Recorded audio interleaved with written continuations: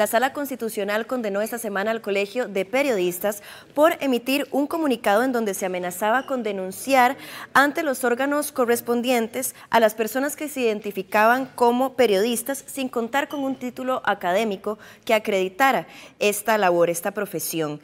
La sala respondió así a dos recursos de amparo, entonces uno de ellos presentado por Luis Madrigal Mena, quien labora como periodista del medio Delfino, CR, quien él nos acompañará el día de hoy en nuestra entrevista de fondo.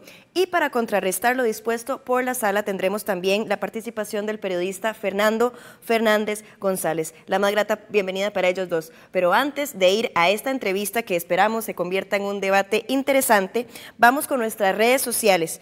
Y es que mm, se han movido mucho últimamente, también en torno a este tema de eh, Colper. El periodista Óscar Ulloa, por ejemplo, comenta, la Sala Constitucional puso al Colper en su lugar. En buena hora esta sentencia, los magistrados calificaron de amenaza las manifestaciones del Colper.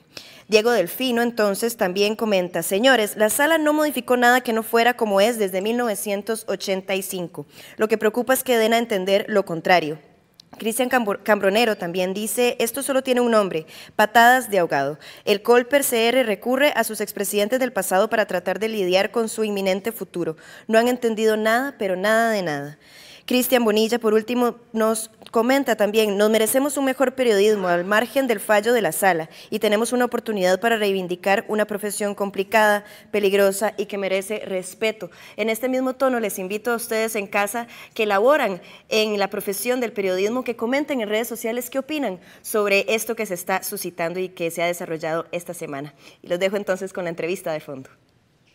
Bueno, súper contento de tener acá en eh, un espacio como esta semana en el 15 a dos colegas que respeto mucho y sobre todo eh, reflexionar sobre esta decisión de la sala que de algún modo ratifica eh, una posición anterior, pero que también da mensajes en los que de algún modo un sector de, del gremio ha llamado a preocupación. Tal vez nos pone muy rápido en contexto, don Luis, un poquito la virtud de presentar el recurso y la preocupación que ustedes tenían en ese momento a la hora de, de algún modo, eh, solicitar derechos. Claro, eh, muy buenos días primero a todos, gracias por el espacio. Eh, nosotros, bueno, yo personalmente presenté el recurso de amparo después de, después de ver el comunicado que sacó el Colegio de Periodistas, pues con la amenaza de presentar denuncias contra los que laboramos como periodistas y nos presentamos como tales, pero que no tenemos el título académico que nos respalde. Lo presenté primordialmente porque eh, este tema ya ha sido, como usted bien sabe, Marlon, dilucidado por la Corte Interamericana desde el año 85, luego la Sala Constitucional lo ratificó así desde el año 95. Entonces es una discusión que se debería entender como superada y no debería permitirse al Colegio de Periodistas querer volver a esos tiempos en los que se enviaban cartas a medios de comunicación solicitando que no se contratara, que se, que se despidiera o que no se contrataran a periodistas que no tenían título, que no estuviesen colegiados. ¿Usted sintió persecución con ese comunicado? Eh, claro, era una, era una absoluta, era, una, era un anuncio de represalias contra, al menos en mi caso, eh, yo tengo nueve años de ejercer la profesión, pero todavía no tengo un título académico que me respalde. Entonces... ¿Sí estudia eh, periodismo, Luis? Usted? Eh, estudio periodismo, sí, actualmente. Había un riesgo latente especialmente porque actualmente la ley del Colegio de Periodistas, en su artículo 27, si no mal recuerdo, dispone que ante las autoridades de la República solo tienen condición condición de periodistas los que estén inscritos en el Colegio de Periodistas. ¿Qué sucede con esto? Hay un riesgo entonces, por ejemplo, de que en juicios contra delitos por el honor, por alguna noticia que podemos haber publicado, no se, no se nos reconozca como periodistas, que quedemos excluidos como eh, de conferencias de prensa, porque no se nos reconozca como periodistas. Es un artículo que no se aplica históricamente. Es, ambiguo por un tema de libertad de expresión. Acá todos vamos a poder decir lo que queramos, y no, inclusive creo yo que, digamos, el, el, presidente o, o quien esté gobernando en un momento determinado porque alguien dijo algo en redes, le podría caer encima. Quiero tener también la versión suya, eh, don Fernando. Eh, bueno, eh, usted también tiene mucha experiencia, inclusive dirigió medios de comunicación y ha manifestado una reflexión en torno específicamente al llamarse periodista. Yo, en este caso en particular, quería invitarlo para tener también esa reflexión de retorno, que creo que es muy importante, don Fernando. Buenos días. Muchas gracias, Marlon. ¿Qué tal? Mucho gusto. Sí, yo comienzo, eh, hice una síntesis de hechos para poder justificar en mi posición. En Wikipedia leemos que periodismo es una profesión que comprende el conjunto de actividades relacionadas con la obtención, elaboración y difusión de información actual o de interés para transmitirla al público a través de los medios de comunicación. Y agrega que es el conjunto de estudios o conocimientos necesarios para obtener un título académico de periodista. Esa es una definición básica. Eh, de tal forma que el periodista profesional es aquel que posee un título académico desde este punto de vista. Ahora, el artículo 23 de la Ley Orgánica del Colegio de Periodistas define que es periodista quien tiene por ocupación principal, regular o retribuida el ejercicio de su profesión en una publicación diaria o periódica, en un medio noticioso, radiofundido o televisado o en una agencia de noticias y que obtiene de ella los principales recursos para su subsistencia. Luego viene eh, que la Procuraduría General de la República lo entendió así en su dictamen 269 del 20 de septiembre del 2004 al determinar que el periodista profesional es exclusivamente el titular de un diploma que lo habilite para el ejercicio del periodismo. Sin embargo, en 1985, perdón, en 1985, y ya lo citó el compañero. Un recurso interpuesto por Roger Ajun, casualmente. Exactamente. Eh, el CID ya eh, dijo que, bueno, que periodista era aquel que pudiera expresar libremente su pensamiento. Lo de la Procuraduría se mantiene sobre todo en el caso del sector público, que también eh, de algún modo permite como un tamizaje para que las personas que puedan trabajar en el sector eh, de algún modo estén colegiadas. Son las, son las únicas que en este caso deberían estar obligatoriamente agremiadas al Colegio de Profesionales en Comunicación, que luego también ha demostrado que no podemos solamente llamarnos en el colegio, causó mucha roncha en su época, el presidente de ese entonces era Raúl Sileski, eh, que eh, sumara a comunicadores, relaciones públicos, inclusive eh, diseñadores publicitarios y productores audiovisuales. Prosigo, el tribunal, la sala cuarta, advierte que, y escudándose en el artículo 28 de la Constitución Política, que prácticamente cualquiera puede ser periodista por ejercer la libertad de expresión. Yo busqué también una definición de libertad de expresión y encontré esta, que la libertad de expresión es el derecho fundamental que tienen las personas a decir, manifestar y difundir de manera libre lo que piensan sin por ello ser hostigadas. Y estoy completamente de acuerdo. Hay en consecuencia, y aquí es donde viene el meollo del asunto, una gran diferencia entre lo que es ser periodista profesional y ser eh, cualquier persona que ejerza su libertad de expresión. ¿Qué quiero decir con esto? Que todos aquellos que estudiamos cuatro o cinco años en una universidad y que hemos trabajado a lo largo de, en mi caso, 45 años como periodista, eh, nos basamos en, en la academia para luego complementar con la práctica la profesión del periodismo. Yo, en lo, particular, yo no tengo ninguna crítica a todas las personas que usan las redes sociales, que escriben en los medios de comunicación, en las páginas de opinión, pero, Fernando, sus, eh, eh, digamos, su pensamiento. Pero el punto de vista de lo que voy, Marlon, es que no consigo cómo una persona pueda trabajar en un medio de comunicación entrevistar, investigar, ejercer el, periodismo interpretativo, el periodismo de opinión, eh, sencillamente sin tener un título, sin tener estudios, eh, pasándole por encima a mucha gente que ha estudiado Entiendo. y que, eh, de ahí, pues, lo más grave de todo es que los medios de comunicación se atribuye entonces el derecho de escoger a sus periodistas. Ok, voy a dar un salto. Eh, es muy importante lo que plantea don Fernando, pero usted estudia, por ejemplo, ¿verdad? Entonces, eh, deme su punto de vista en este momento en particular, porque yo eh, lo, he expresado y fui presidente del Colegio de Periodistas y tuve mi estilo a la hora de, de estar ahí. Entonces, creo que su punto de vista es muy válido. ¿Cómo hace usted esa lectura crítica, verdad? Y, sobre todo tal vez lo que eh, señala don Fernando, que creo que es muy importante, y es el auto eh, depositarse el nombre de periodista, que es lo que en realidad ha causado roncha, porque la sala ya lo había dicho desde hace mucho tiempo, que esa labor sí se puede hacer. Doña Emma, la actual presidenta del Colegio de Periodistas, le respondió a la sala constitucional en el amparo que yo presenté que, que los periodistas sin título no deben decirse periodistas, sino asesor en comunicación, comunicador, pero con base en qué, vamos a ver, cuál es el sustento de eso. Eso no tiene ningún tipo de sustento. No, no, hay, por ejemplo, en la ley del Colegio de Periodistas no se hace una distinción de qué es un periodista, qué es un comunicador, un comunicador, qué es un asesor de prensa. Eh, Eso creo, es una, creo, que sería un poco discriminatorio también hacerlo, Luis. Absolutamente.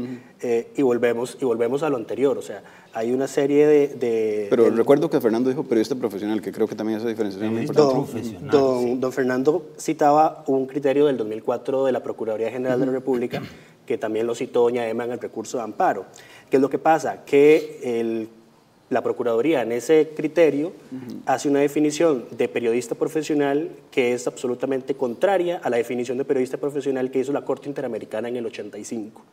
Eh, y por eso es que el, recurso de amparo, cuando los magistrados lo declaran con lugar el viernes de la semana pasada, ellos hacen esa, ese, ese señalamiento aunque la Procuraduría haya dicho que periodista profesional es X cosa, la Procuraduría en el 85 y la Sala Constitucional así lo acogió desde el 95, le dio otra definición a periodista profesional. Y, creo que el punto acá, Marlon, eh, relevante es, eh, bueno, como usted sabe, yo estoy estudiando, en, pocos meses tendré mi título de periodista, entonces yo perfectamente pude no haber presentado ese recurso. ¿Por qué lo hago? Porque eh, no es justo, por ejemplo, para los comunicadores, para los periodistas de zonas rurales que no tienen acceso a una universidad, que por años, con práctica, han aprendido la técnica de hacer periodismo, que el colegio simplemente se les vaya encima. O sea, no se, puede, no se debe permitir regresar a esos tiempos. Tenemos en pantalla el, el fallo de la Sala Constitucional. Correcto. Eh, todavía, la sentencia, todavía la sentencia no está eh, redactada, pero yo espero que esté este viernes. Eh, para ver cuáles son los alcances que tiene. Le pedimos a doña Emma que estuviera, pero casualmente están esperando que esté resuelto. Está, sí, eh, la sentencia todavía no ha salido eh, porque hay varios magistrados que hicieron señalamientos adicionales. Pero el, el, punto es ese, o sea, vamos a ver, yo creo que el Colegio de Periodistas ya debe superar esta discusión, creo que ya es hora de que entiendan que este tema está dilucidado desde hace varias décadas y entonces miren hacia adelante de cómo reestructurar la ley del Colper para que se, se adapte a los tiempos actuales, de cómo combatir las noticias falsas, porque eh, vamos a ver, yo creo que no son los periodistas no, no, colegiados o no titulados los que están difundiendo noticias falsas, lo vemos por memes, lo vemos por publicaciones en Facebook, lo vemos por mensajes de WhatsApp, entonces creo que eh, el, el frío no está en las cobijas, como dicen, entonces el colegio debe reorientar su... su... ¿Estoy de acuerdo con eso, don Fernando? No, yo lo que digo es que qué motivación va a tener un muchacho que quiere ser profesional en periodismo y quiere ingresar a la Escuela de Ciencias de la Comunicación Colectiva. Tenemos una crisis ¿Qué motivación va a tener para estudiar cuatro o cinco años cuando cualquiera puede ejercer la carrera como periodista profesional? Y, ¿Se desvaloriza le la carrera? un ejemplo, Marlon. ¿Se desvaloriza la carrera? ¿Perdón? ¿Se desvaloriza? Para mí se desvaloriza, pero, por eh, yo voy a hacer un apunte, no sé si, si es correcto, pero creo que, que, guarda toda la distancia en servicio civil. Aunque Luis, digamos, se llame periodista, él nunca va a poder concursar en un concurso público para, para poder obtener un trabajo como Pero va a poder trabajar en cualquier medio. Sí. Entonces, vamos, vamos a la praxis. Periódico La Nación. Ya sabemos que La Nación pues, defiende ciertos intereses. Si un periodista profesional no piensa acorde a los intereses de la nación, pues no lo van a contratar. Pero si yo veo a don Leonardo Garnier, que está aquí sentado, buen amigo, y escribe muy bien y piensa como yo, pues lo contrato. Entonces ya el colegio de periodistas queda ninguneado. Y las escuelas de periodismo de las universidades eh, costarricenses prácticamente que le vayan poniendo un candado. Porque ¿quién va a querer estudiar periodismo sabiendo por eso insisto yo En, la eh, eh, en la diferencia que existe entre periodismo, periodista profesional y comunicador o facilitador. A mí me parece un error eh, generalizar en el sentido de que es indispensable el paso por la academia para aprender lo que hacen los periodistas. Porque vamos a ver, eh, lo que hacemos es una técnica. ¿Cómo, cómo, controlamos la ética? Es que ahí está, ahí está otro punto. Vamos a ver, Marlon. Eh, yo y, no hablo de censura jamás, ¿verdad? Personalmente pedí las estadísticas al Colegio de Periodistas de cuántas denuncias han recibido y cuántas denuncias han resuelto, sanciones han impuesto a sus colegiados. A mí me denunció el colegio, yo le gané un caso en Sala yo, recuerdo, Sí, yo recuerdo ese caso. Entonces yo pedí las estadísticas. Pero pura libertad de expresión. Aún no me las han dado, pero al menos en su caso yo recuerdo que fue en el 2017 y su caso fue el segundo y lo presentaron como en, La, denuncia fue como en noviembre. Entonces, imagínense, yo creo que el colegio, independientemente de que... el único presidente que, han condenado, qué barbaridad. el colegio, independientemente de que, de que esté, está ahí, pero ejerce, ejerce correctamente su labor de fiscalización con sus agremiados. Yo, yo verdaderamente lo, lo dudo Es muy difícil, es muy difícil. Se lo digo porque yo fui presidente y veíamos las portadas y, y hay un una, una, una, gran discusión en derechos humanos y ustedes dos la tienen que tener clarísima. Una son los derechos humanos, pero el otro es el interés público. Y yo como periodista siempre me voy a poner el día que alguien quiera definir el interés público. Cuando el interés público se defina, nos van a fregar. Ahí sí. Porque van a entrar muchas cosas en las que Inclusive eh, algunos van a, tacharse de, secretos de Estado para no darnos información. Así que es mejor estar como estamos en todo caso. El, punto es que... Es un eh, tema superado, perdón. Sí, claro. Fernando, es un tema superado. ¿Cuál? Esto que estamos discutiendo hoy, porque Luis lo, Luis, Luis lo ha dicho que eso ya es tema superado porque desde los 80 se está legislado. Mire, Marlon, yo me pensioné, me jubilé hace cuatro años, ya yo no ejerzo, escribo en redes, por supuesto. Tienen que volver usted a los soy medios. muy crítico, pero eh, sí me duele, y vuelvo al, tema. Y pongo dos ejemplos. Yo desde niño... Me quedan dos minutos, quiero un minuto para cada uno. Ok. Yo soy diestro en, en operar zapitos, ranas, entonces eh, llega un momento que digo, yo puedo operar a un humano. Y nadie me, nadie me puede decir nada, que necesito el, el título de médico. O bien el problema de los taxistas y Uber, que también es, en otro capítulo aparte, pero eh, viene a, establecer como un símil con esto. los taxistas a, través de toda su historia se han organizado, han pagado seguros, pagan, están al día. Y llega Uber, y yo estoy de acuerdo con Uber, que da un buen servicio y la gente tiene mucha confianza, pero de repente empieza a desplazar a los taxistas que tenían ya casi que un derecho adquirido. A eso me refiero las escuelas de periodismo preparan al, estudiante, al futuro profesional. Y yo estoy muy orgulloso de haberme egresado de la Escuela de Ciencias de Comunicación de la Universidad de Costa Rica. Si yo escribo bien, yo puedo tener un programa de radio, un programa de televisión, entrevistar gente, traer, como lo hacen montones de personas. Pero meterse en una sala de redacción, investigar, entrevistar, elaborar eh, artículos, crónicas, eso, para mí, requiere de un título profesional que solo una universidad te lo puede dar. Em, creo que es hora de que el Colegio de Periodistas eh, tome la batuta en el sentido de actualizar su ley. Es una ley que no tiene reforma legislativa de los 70. Las reformas que se han hecho se han hecho a raíz de precisamente dispuesto a colaborar? Sentencias, absolutamente, sentencias de la Sala Constitucional. Entonces ya dejemos, dejemos pasemos de la discusión de qué es un periodista, si tiene título o no, a cómo actualizamos ese marco normativo para que se adapte a los tiempos. ¿Se va a colegiar cuando se gradúe? Lo dudo mucho porque personalmente siento que el colegio no, no tiene ningún tipo de valor agregado como que me incentive a mí a colegiarme, más que, inclusive ya ni, eh, para el sector público solo se necesitaría para aspirar Yo no soy presidente, le hubiera contado un montón de ventajas. Pero eh, inclusive o sea, hay varias resoluciones que incluso eh, han ido a, dilucidar en qué tipo de cargos en el sector público se necesita colegiatura. Por ejemplo, un periodista institucional que no ocupa cargo de director no necesita la colegiatura según una sentencia del 2018 de la Sala Constitucional. Entonces yo creo que eh, eh, si el Colper no se pone las pilas... Público, en el sector público, sí. Entonces yo creo que si el colegio de periodistas no se pone las pilas, pues va a terminar desapareciendo por su propia inacción. Entonces, el, problema no está en los no periodistas, el problema está en que el Colegio de Periodistas no ha querido actualizar su ley para actualizarse. Muchas gracias, don Luis. Eh, me quedo con las dos reflexiones. Eh, don Luis cierra el colegio y don Fernando nos recuerda la importancia de ser profesionales, eh, que aunque la experiencia es muy importante, la academia siempre pasa por nosotros. Hay cosas que no se aprenden en la calle. Esas son las reflexiones de dos periodistas, uno que le reconozco toda su trayectoria y don Luis, que en estos nueve años ha demostrado también ser como comunicador una persona muy consecuente. Así que una alegría tenerlos en esta semana en el 15 y una eh, conversación que creo que no se acaba nunca, que va a seguir eh, al menos hasta que el colegio siga eh, llamando la atención.